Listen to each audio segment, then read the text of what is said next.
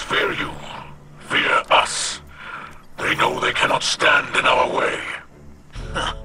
Looks like Captain Kells found his inner pirate again. Perhaps it is what I am. And Eramis speaks the truth. Hey, now, I didn't say that. What's that Eido said to me? Eramis will fight forever to get rid of her shame. Maybe you did that for a while, too. But then you made a safe place for the Eliksni. That's what Eramis wants, and she'll never get there.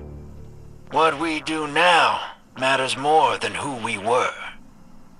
The Drifter speaks kind truths. Mithrax thanks you.